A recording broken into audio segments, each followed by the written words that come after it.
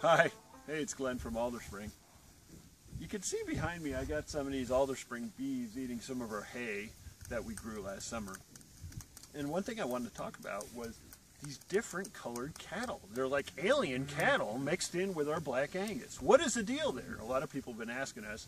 And the deal is that they're actually um, a hybrid between Black Angus and French Charolais one of the largest problems with Black Angus breed is that there's basically a lot of inbreeding that's gone on for hundreds of years. And as a result, you end up with this kind of monotypic gene pool that is no longer as hardy as the cattle originally were in ancient Scotland.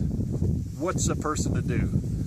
That's when you bring in some other blood from the European continent to try to bring back that kind of ancient diversity of the bloodline and hybrid vigor.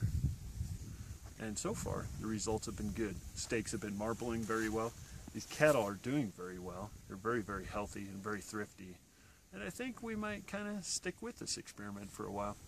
Anyway, thanks a lot for watching. Happy trails from Alderspring.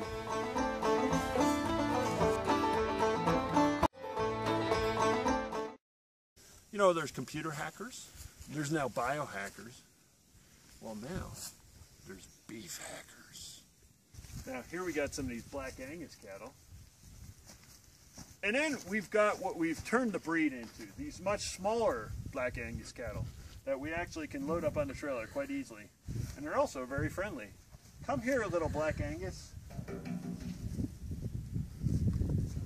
Mm. Here talking about how good that feels.